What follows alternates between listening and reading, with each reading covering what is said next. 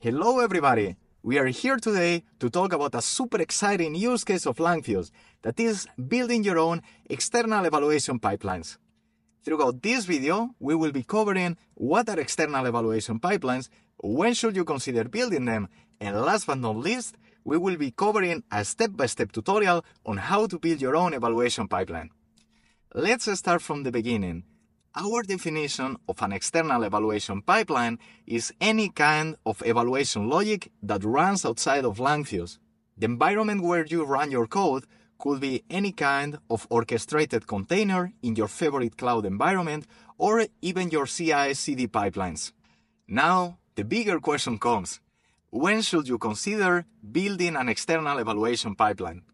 First of all, I would really encourage you that before digging into external evaluation pipelines, you will check first the no-code evaluation templates that you can set up with the Langfuse UI, for which our co-founder Max has already done a tutorial under the tab Model-Based Evaluations in our docs. The reason for using these no-code evaluation templates is threefold. They are easier to implement, easier to deploy, and easier to maintain. So if they fit your use case, please go ahead and stick to them. Now, let's discuss when does it make sense to implement your own external evaluation pipeline. The first situation would be when you want to have very fine-grained control over when your evaluations are run. So let's say that you want your evaluations to be run on a given event-based trigger, like a given webhook endpoint being called.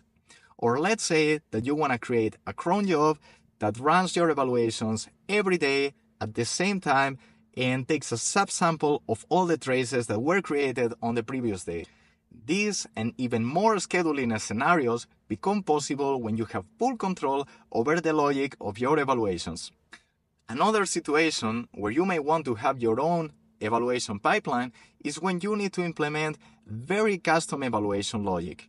The good thing is that once you go this route and you implement all your evaluation logic, it becomes possible to rely on existing evaluation frameworks such as DeepEvals, OpenAI Evals, or Uptrain.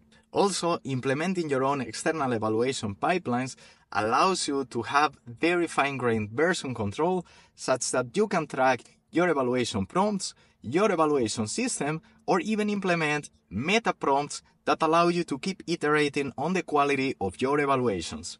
If your use case fits any of the situations mentioned, or you would like to reap any of these benefits, let's go ahead and start implementing your first evaluation pipeline. Before going ahead with the demo, please make sure that you have installed all the necessary dependencies in your runtime. And also, make sure that you have made available the necessary API keys, as we are going to be working with both the Langfuse client and the OpenAI client. In this cell, we are setting up these environment variables with our API keys. So the first step of our demo is to create some synthetic data that we can run through our external evaluation pipeline. And this is exactly what we are going to be doing here. For the rest of the demo, we are going to be working with a very simple mock application. We are going to be building a language model science communicator that will reply our users' most burning questions about scientific topics in a joyful and engaging way. At this point, we have no real user queries, so the best thing that we can do to bootstrap our development is to use another language model uh, to generate plausible questions that our users may ask. And this is what we are accomplishing with this very simple prompt. And let's just go ahead and run it. And here we obtain a fascinating list of potential topics that we are going to be using as input for our core LLM application. Let's go ahead and put them in. The core of our app is this compact prompt that is specifying how do we expect our model to reply to our questions. Until now, no part of our application was tracked in Langfuse, but this is something that we are going to be changing right now. There's multiple ways in which we could be instrumenting our application to record the traces in Langfuse, but for the sake of simplicity, we're going to be relying on the observed decorator. Using the observed decorator is as simple as wrapping our language model calls in a function and then adding the observed decorator on top. In order to make our lives easier in the future, we are using the Langfuse context class in order to add a more descriptive name and some tags to our traces. And now let's run our core application logic such that we get our traces up in Langfuse.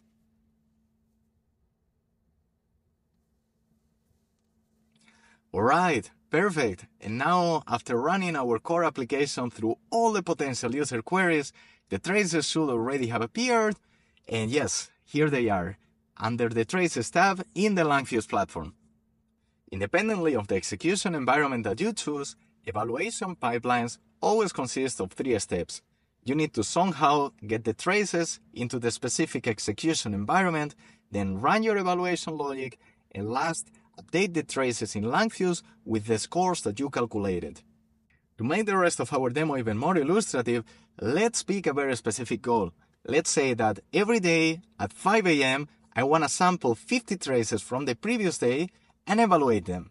For getting the traces into our evaluation pipeline, we are going to be using the Langfuse client, and more specifically, we'll be using the fetch traces method.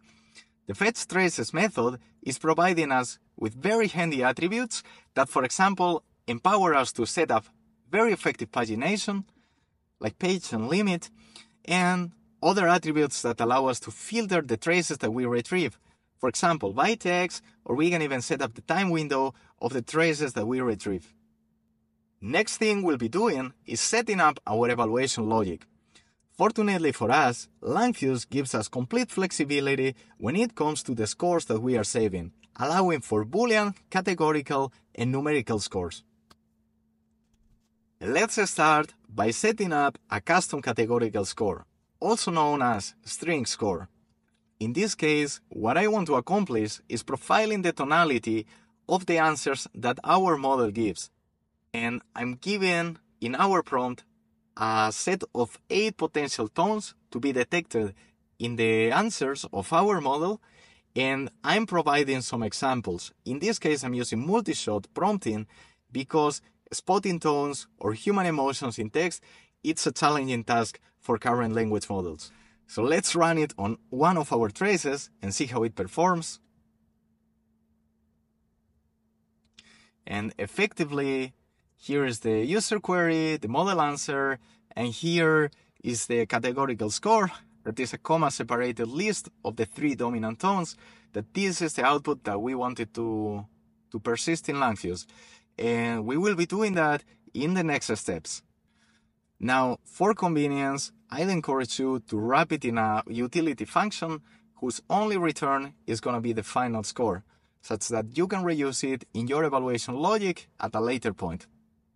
Let's also include a numerical score in our demo, and for this we're going to be relying on the DeepEval framework, more specifically on the GEval framework, that allows us to define numerical scores in plain English, as you can see here. So let's go ahead and run this function. And what is super cool about this framework is that it doesn't only give us a numerical score between 0 and 1, but it's also giving us the supporting reasoning behind. That makes it much more interpretable. Let's go for the final step and persist our evaluations back in Langfuse. For this, we are going to be using again the Langfuse client but this time we'll be using the score method. For the score method, it's very important that we have the ID of the trace that we would like to update and we need to set up a value that, as I was saying before, it can be boolean, numerical, and categorical, or a string. And we also have an optional parameter that is a comment, and in this case, I thought that it would be very useful for interpretability to also include the reasoning behind our DeepEval score that we calculated in the previous step. Let's now create a script that puts together all the previous steps. And remember, our goal is that every day at 5 a.m. we are evaluating 50 traces in an incremental way. So let's say in batches of 10 traces for the sake of this demo. If you pay attention, the outermost loop is iterating through the batches of traces, while the innermost is iterating through each individual trace. Unless the output of this trace is known, what we are going to be doing is using the Langfuse client to persist the tone score that we define above, we are going to be calculating the joyfulness score that we also defined above, and we are going to be using again the Langfuse client in order to persist this second score. So now let's go ahead and process all the traces that we generated above. Alright, so all the traces have been processed successfully. Let's go back to Langfuse. And here we go. Here are our results. Now we have a joyfulness score for every single trace, for which we have a little a speech bubble here that will show the comment, so the reasoning behind the score, and we also have our categorical score for the tone of the answers. So we were able to successfully attach to existing traces the newly calculated scores using our external evaluation pipeline. That was it for today. Thank you so much for your time and attention. We hope that you leave with a better impression about what does it take to build an external evaluation pipeline, when does it make sense to build them, and even how to create your own synthetic data in order to test your external evaluation pipeline. If you have any kind of feedback or comments, we are looking forward to hearing them and we're delighted to support you building the future of language model applications using Langfuse.